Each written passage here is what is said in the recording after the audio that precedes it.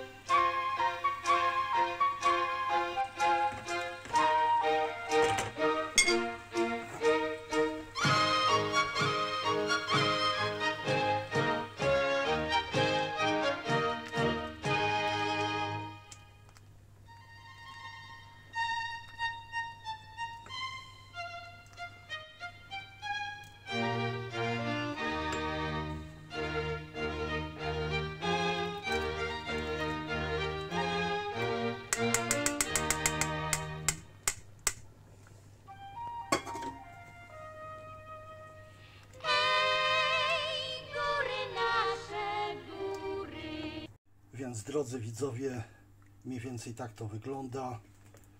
A zobaczymy jak zaraz smakuje. Taki szybki sposób na obiad. Więc drodzy Państwo, tak to leciało jak pokazałem na filmie. Teraz zjem to i mam nadzieję, że to będzie dobre.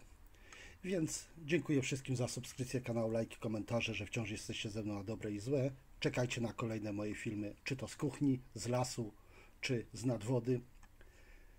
Do następnego. Cześć!